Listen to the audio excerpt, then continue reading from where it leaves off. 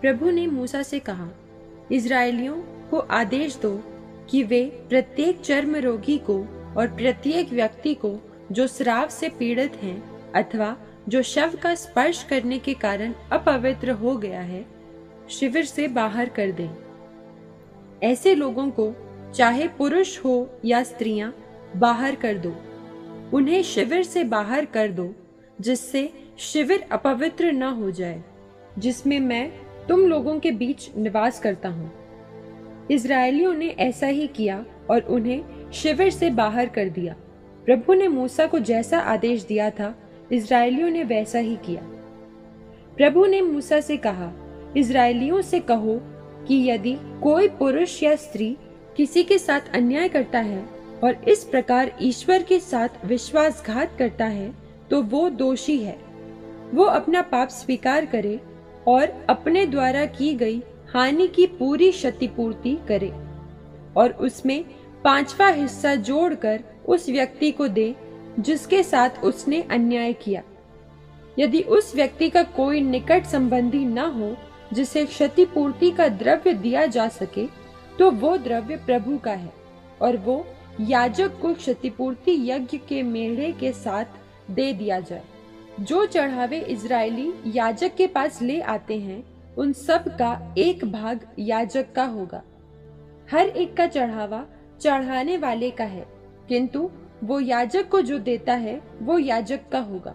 प्रभु ने मूसा से कहा इसराइलियों से कहो कि यदि किसी पुरुष की पत्नी पथ भ्रष्ट होकर उसके साथ विश्वासघात करते हुए पर पुरुष के साथ प्रसंग करे और उसके पति को इसकी जानकारी न हो क्योंकि दोष लगाने वाले साक्षी के अभाव के कारण उसका व्यभिचार छिपा रह गया और यदि पति को ईर्ष्या के कारण अपनी पत्नी पर संदेह हो गया और वो पथ भ्रष्ट हो, अथवा यदि वो ईर्ष्या के कारण अपनी पत्नी पर संदेह करे और वो निर्दोष हो तो वो अपनी पत्नी को याजक के पास ले आए और उसके लिए चढ़ावे के रूप में दो सेर जौ का मैदा भी ले आए। वो उस चढ़ावे पर न तो तेल डाले और न लोबान ही रखे, क्योंकि वो ईर्ष्या की अन्न बलि पाप का स्मरण दिलाने वाला चढ़ावा है। याजक स्त्री को प्रभु के सामने उपस्थित करने के लिए ले आए। वो मिट्टी के एक पात्र में आशीष का जल भरे और तंबू के फर्श की थोड़ी सी धूल जल में डाल दे। इसके बाद याजक उस स्त्री को प्रभु के सामने खड़ा करे उसके सिर के बाल खोल दे और उसके हाथ में पाप का स्मरण दिलाने वाला चढ़ावा। ईर्ष्या की अन्न बलि रख दे और अपने हाथ में कड़वा शाप लाने वाला जल लिए रहे। तब याजक स्त्री को शपथ खिलाते हुए उससे कहे, यदि तुम्हारे साथ किसी पर पुरुष का प्रसंग नहीं हुआ, यदि तुम पति के रहते पथ भ्रष्ट और अपवित्र नहीं हुई हो तो ये शाप लाने वाला कड़वा जल तुम्हारी कोई हानि नहीं करे। परंतु यदि तुम पति के रहते हुए पथ भ्रष्ट और अपवित्र हो गई हो, क्योंकि पर पुरुष का तुम्हारे साथ प्रसंग हुआ है। अब याजक ये कहते हुए स्त्री को अभिशाप की शपथ खिलाए। तो प्रभु तुम्हारा नाम अपने लोगों में घृणास्पद और अभिशप्त बना दे। वो तुम्हारी जांघें धुलाए और तुम्हारा पेट फुला दे। ये शाप लाने वाला जल तुम्हारे अंदर जाकर तुम्हारा पेट फुलाए और तुम्हारी जांघें धुला दे। इस पर स्त्री कहे, ऐसा ही हो। इसके बाद याजक एक कागज़ पर अभिशाप के ये शब्द लिखकर उन्हें कड़वे जल से धोए और वो अभिशाप लाने वाला कड़वा जल स्त्री को पिलाए, जिससे वो जल उसके शरीर में जाकर असह्य पीड़ा उत्पन्न करे।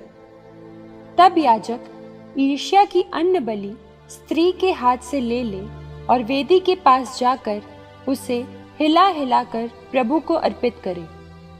वो उसमें से समूची अन्न बलि के प्रतीक के रूप में मुट्ठी भर लेकर उसे वेदी पर जलाए। इसके बाद वो स्त्री को वो जल पिला दे।